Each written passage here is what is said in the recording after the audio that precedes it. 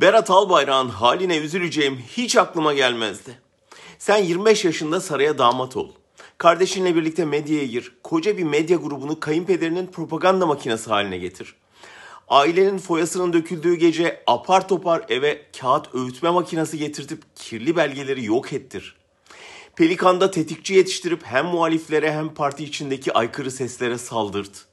Yargıda tetikçilik yapacak savcılar hakimlerden bir ekip kurup muhalifleri hapsettir. Darbe gecesi kayınpederinin yanında ol, kendini siper et. Ekonominin sorumluluğu sana verilmişken kayınpederin çıkıp ekonominin patronu benim ben desin. Sen yutkun otur. Sonra o asıl patron hukuku askıya alıp yabancı sermayeyi kaçırtsın. Kasada kara gün için saklanan parayı son kuruşuna kadar harcasın. Faiz enflasyonun nedenidir gibi tuhaf tezler icat edip faizi düşürmeyen Merkez Bankası Başkanı'nı görevden alsın. Buna rağmen bütün fatura senin üstüne kalsın.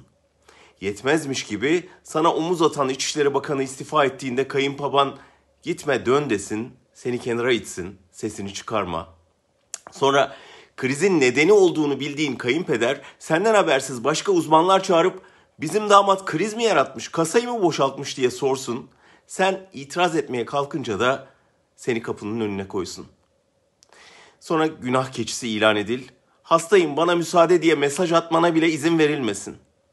Gözden düştüğünü görünce yıllarca beslediğin tetikçiler bir kelime etmesin.